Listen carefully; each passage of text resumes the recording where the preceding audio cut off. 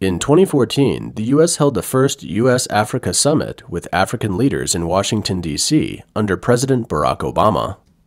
Eight years later, on December 13, 2022, incumbent President Joe Biden hosted the second three day U.S. Africa summit, to which 50 African leaders were invited. This was followed by a 10 day trip to Africa by U.S. Treasury Secretary Janet Yellen on January 17, 2023. This series of heavyweight diplomatic moves signals a renewed U.S. relationship with Africa, with the greatest force behind it being to counteract the Chinese Communist Party, or CCP's, penetration of the African continent. Prior to Yellen's trip to Africa on January 16, 2023, China's new foreign minister, Qin Gang, concluded a visit to five African countries. These five countries are Ethiopia, Gabon, Benin, Angola, Egypt, and the headquarters of the African Union and the Arab League. China's official media, Xinhua, reported that this was the 33rd consecutive year that China's foreign minister had chosen Africa as the first stop on the New Year's visit, reaffirming the deep traditional friendship between China and Africa. Ethiopia, known as the Horn of Africa and the anchor of the region, is the second most populous country on the continent and the hub of the CCP's Belt and Road projects in Africa. Egypt, the third largest economy in Africa and home to the headquarters of the Arab League, is one of the most frequently visited countries by China's foreign ministers over the years. According to the China Africa Cooperation Forum in Egypt, the Belt and Road Initiative is in deep alignment with Egypt's Vision 2030. We are ready to conduct cooperation in major projects with Egypt, import more quality products from Egypt, and encourage more Chinese investments in Egypt.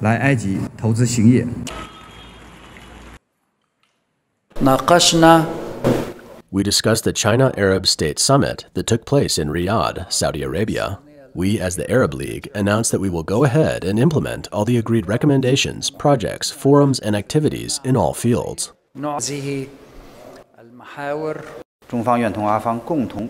China is ready to work with the Arab League to execute the initiatives by the China Arab State Summit and work hand in hand to build a Chinese Arab community for a common bright future together.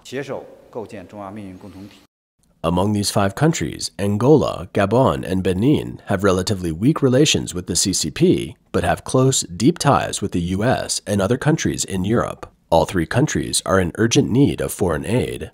Angola, located in southwest Africa, is the most important trade partner and oil supplier of the US in Africa, as well as the largest aid partner of the EU to Africa. Gabon, in Central Africa, is one of the top U.S. partner countries in Africa, and the two countries have held many joint military exercises. Benin, located in Western Africa, has long received a lot of aid from Western countries and attaches great importance to maintaining relations with France, the US, and other Western powers. During his visit to Africa, Chinese Foreign Minister Qin Gang said on a high note that China has signed debt relief agreements or reached a consensus on debt relief with 19 African countries, the largest amount of debt relief among the G20 members. China is committed to helping Africa reduce the debt burden and actively participates in the G20 Debt Service Suspension Initiative. We have signed with most African countries on debt suspension and relief. We are working with countries to deal with the individual cases concerning Ethiopia, Chad, and Zambia. China has announced the exemption, the intergovernmental interest-free loans that expired at 2021 for African countries and will transfer $10 billion worth of SDRs in the IMF to developing countries. His remarks sparked a public outcry in China, which condemned the CCP for throwing money around in Africa when it couldn't even afford Pfizer's antiviral medicines. They are in urgent need as the virus tsunami sweeps through China. Qin Gang stressed that China doesn't see the African continent as a battleground between the West and Beijing. In reality, Africa is significant to the CCP as an invaluable diplomatic tool to break out of its international isolation. In 1956, Egypt was the first African country to have established diplomatic relations with the Red regime of the CCP. During the Cultural Revolution, when the economy came to a standstill, the CCP still used its national resources to provide economic aid to Africa. In 1971, this red regime replaced the Republic of China in the UN, and African countries cast a crucial vote of support, one third of the vote, in the process. Consequently, many African countries still gravitate to the CCP on major issues without principle. From 1999 to 2002, the CCP manipulated such third world allies to have successfully blocked U.S. motions on the deteriorating human rights situation in China at the UN Commission on Human Rights. And these countries later used their votes to kick the U.S. out of the UN Commission on Human Rights so that the U.S. could no longer have a voice. By the time Xi Jinping came to power, the CCP was increasingly isolated in the international community the current Beijing government's increased penetration and control of Africa can strengthen its hand against Europe and the US. From the 1990s and especially into the 21st century, Beijing has significantly increased its economic interests in Africa, in addition to maintaining its original political interests, such as votes in international organizations. The African continent also possesses the cheap labor, natural resources, and strategic military locations that Beijing needs to achieve its ambitions of becoming a great world power. Western countries such as the US can't compete on a level playing field regarding environmental, human rights, and labor conditions with the Chinese Communist Party. After Xi Jinping became president, he launched a Belt and Road economic strategy in 2013 to export China's excess capacity primarily in infrastructure projects such as hydropower, airports, ports, and railways. By the end of 2021, out of 53 African countries which China has diplomatic relations, 52 countries, as well as the AU Commission, have signed cooperation documents with China for the joint construction of One Belt, One Road. According to a study published by the U.S. think tank Carnegie Endowment for International Peace in mid May 2022, China's economic footprint in Africa has now far surpassed that of the US. China's trade with the African continent exceeded 250 billion US dollars in 2021, making it the largest trading partner of many African countries. In comparison, the US trade with Africa was only 64.3 billion US dollars. That is to say, the CCP's economic dominance in Africa is currently evident in comparison. However, critics argue that the economic benefits haven't benefited the local people, but have instead been lost to the corruption of small groups. The CCP has not only invested in Africa to export corruption, but also has trouble guaranteeing the quality of its projects.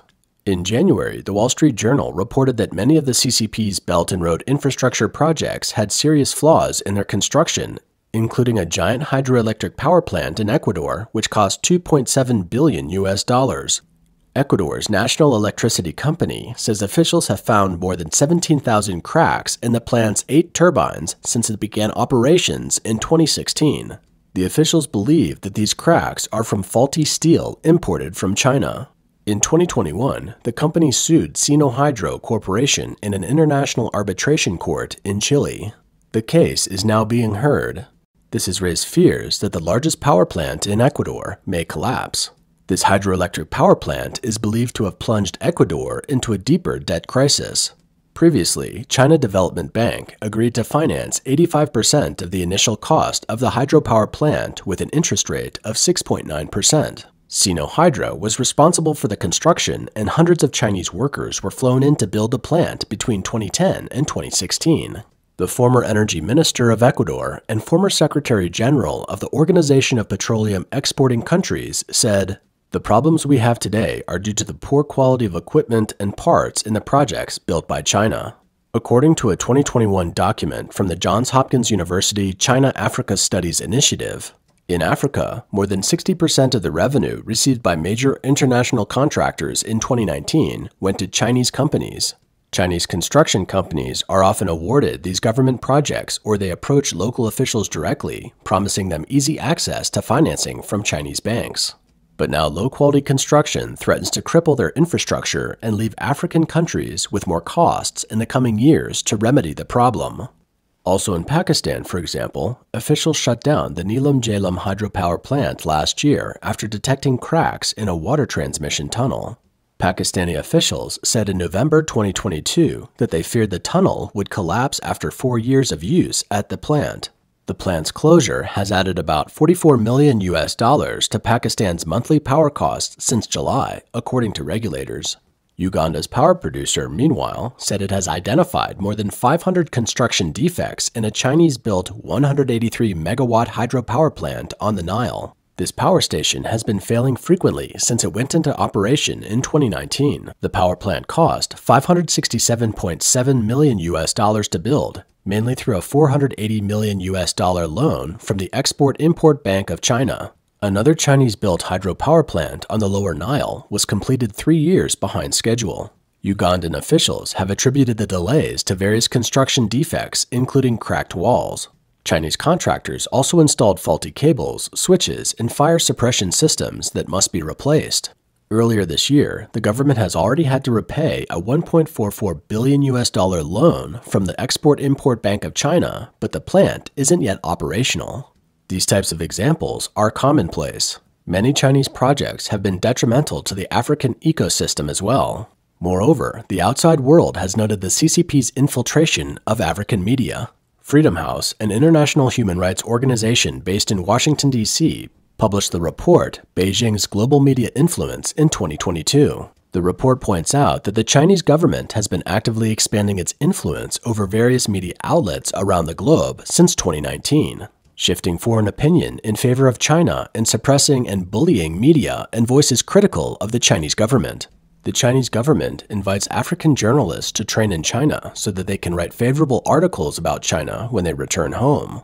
For example, when the U.S. House Speaker Pelosi visited Taiwan, the tensions in the international community were so high that the international media covered the event heavily. African media, however, didn't talk much about this matter because African countries such as South Africa, Algeria, and Kenya only report news favorable to China. China helped establish a 10,000 satellite TV reception project in Africa in 2022, which has enabled rural Africa to receive China biased news content. The US China tussle, kicking off in January 2023, has focused on the debt problems of African countries. The CCP has provided loans to many low income African countries, thus becoming a significant creditor in Africa. However, the specific terms of the loans provided and the collateral required from African countries have not been transparent to the public. The reality is China is the largest creditor of developing countries, many of which have fallen into debt crises. According to the World Bank, the world's poorest countries face 35 billion US dollars in debt payments to creditors in both the official and private sectors in 2022, of which more than 40% is owed to China. Debt is a constraint on China's economic development, but the CCP has also used the debt crisis to exert a great deal of influence over debtor countries, including Africa. Since the last administration, the US has repeatedly denounced Chinese loans to African countries as a debt trap. Yellen has also repeatedly criticized Beijing, the world's largest creditor, for not moving more quickly to restructure the debts of poor African countries. In a January 14th interview with NPR, Yellen said her visit to Africa aimed at deepening economic ties with Africa. She acknowledged the CCP's penetration in providing loans to African countries and trade with Africa. However, African leaders made clear at the December 2022 US Africa Summit that they were seeking greater US involvement. In 2020, Zambia defaulted on its debt, failing to make a 42.5 million US dollar bond payment, becoming the first African country to default during the COVID-19 epidemic. The country now owes a total of 17 billion US dollars in foreign debt, and China is its largest creditor. Zambia has been trying to reach an agreement with the CCP to restructure its debt, and its negotiations on how to deal with the debt loads have been ongoing. But little progress has been made so far, a situation that has left local people in poverty and unemployment. Zambia is an inland country larger than the state of Texas, rich in copper, and the majority of its population lives on less than 2 US dollars a day. Other debt-ridden countries in Africa are closely watching Zambia's debt restructuring progress. According to Reuters, economic analysts say some African countries, including Zambia, are unhappy with the loans provided by the CCP and are looking for alternatives. Addressing Zambia's debt problems is a major reason for Yellen's trip to Africa, where she met with the Zambian president and finance minister on January 24th to discuss the ongoing negotiations. At a press conference, Yellen called out to China for an immediate solution to Zambia's heavy debt burden as the issue is critical. She said that although she had a constructive conversation with Chinese Vice Premier Liu He in Switzerland the week before about Zambia's debt, it has taken too long to resolve the issue.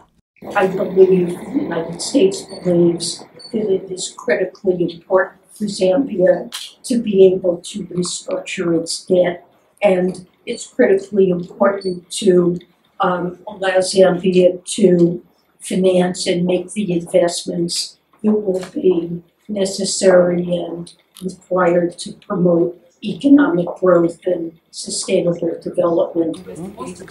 I am encouraged that progress may become possible shortly. Let me say, I know that the Chinese have been um, a barrier to concluding the negotiations.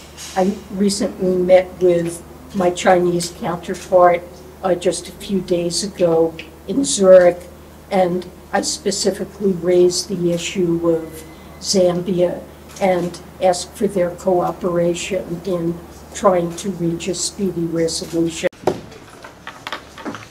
We were in a debt situation before, which was resolved about 15 years ago through multilateral actions. Unfortunately, through our own um, deeds, we brought back the issue of the debt and sustainability. But that's the reality, and uh, we as a government, we do not shy away from admitting that there was a problem. They are very skeptical.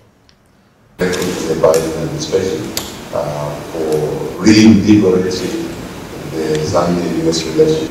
Zambian president said in a bilateral meeting with Yellen that the country faces a deadline to repay its debt in late March. It will further drag on the economy, and a solution must be found soon. Yellen was speaking in Lusaka, Zambia's capital city, which is dominated by Chinese financing. Facilities expanded with Chinese funds in 2015 are visible at the local international airport. Billboards with Chinese logos and newly built companies can be seen throughout the city, attesting to Beijing's growing influence and competition with the U.S. Earlier, on January 20th, Yellen spoke about Africa's vast potential and prospects for the continent during a speech in Dakar, the capital of Senegal, a West African country. She said there is still much work to be done to address the many challenges facing Africa and the globe, but that Africa will determine the future of the global economy. She pointed out that Africa's population boom can create tremendous economic opportunities. It has the talent and resources to develop global industries and drive global innovation. In other words, Africa's success will mean success for all of us. She said it was this potential of Africa that prompted the Biden administration to develop a new strategy for sub Saharan Africa. Our engagement is not transactional, it's not for show, and it's not for the short term. The United States is here as a partner to help Africa realize its massive economic potential. Yellen also said in Dakar that President Biden, Vice President Harris, and several cabinet secretaries will visit Africa this year. Africa will shape the future of the global economy. And I explained that the United States is ready to work with Africa as an equal partner. We know that a thriving Africa is in the interest of the United States. A thriving Africa means a larger market for our goods and services. It means more investment opportunities for our businesses I believe that Ms. Yellen and I will have fruitful discussion today on a number of issues, including anti-money laundering and countering finance, financing of terrorism, climate financing, sovereign debt resolution in Africa, and other global issues which are going to be part of the G20 next month. At the U.S. Africa Leaders Summit last December, the U.S. pledged to provide at least $55 billion in aid to Africa over the next three years. It also signed a memorandum of understanding with the Secretariat of the African Continental Free Trade Area to expand trade between the two entities. Some analysts argue that the tug of war between major powers is a fact of life on a global scale, but it is no more acute in Africa than in other parts of the world. We find that this perception lacks a basic understanding of the character of the CCP. Last August, in the document U.S. Strategy Toward Sub Saharan Africa, it said, The People's Republic of China, PRC, by contrast, sees the region as an important arena to challenge the rules based international order, advance its own narrow commercial and geopolitical interests, undermine transparency and openness, and weaken U.S. relations with African peoples and governments.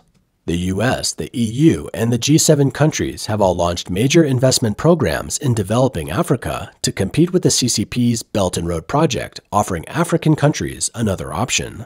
Against these backdrops, Africa has become a focal point of global strategic competition between China and the US. This means, to some extent, that African countries are facing a choice on whether to continue to support the Red CCP. Some of them have already joined the global trend of blocking it.